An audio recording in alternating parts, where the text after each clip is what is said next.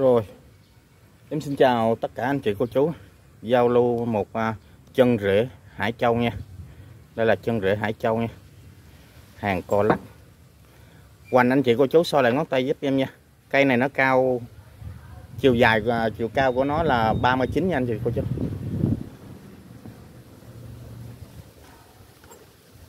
Co lắc nha.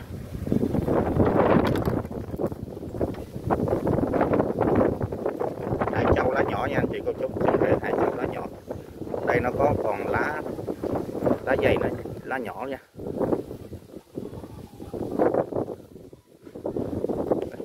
Chị cô chú so lại ngón tay giúp em nha. Lá rất đẹp nha. Chân rêu quá luôn.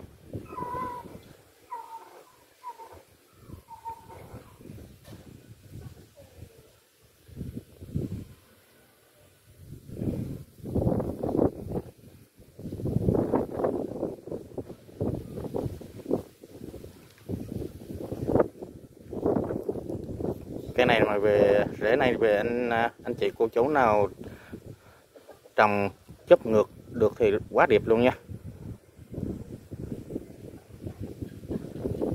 Nếu chụp ngược thì quá quá ok luôn.